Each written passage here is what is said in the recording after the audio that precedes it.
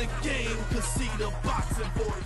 Welcome back, gang, for the first time and hopefully many more to come.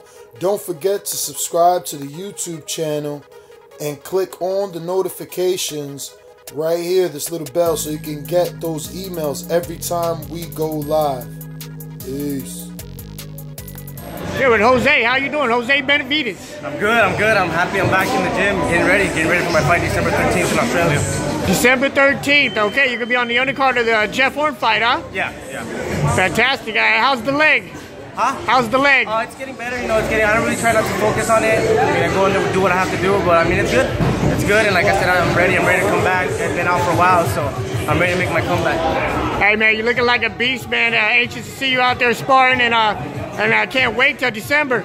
Thank you, man. Thank you. Like I said, we're, we're ready to come back. We're training hard, and it's gonna be it's gonna be good for us. Definitely, man. Everybody likes to watch the Benavidez brother fight, man. Yeah, we try to give everyone a good show, you know. So right now we're just focused on training hard and getting back, getting back in the ring and winning fights again.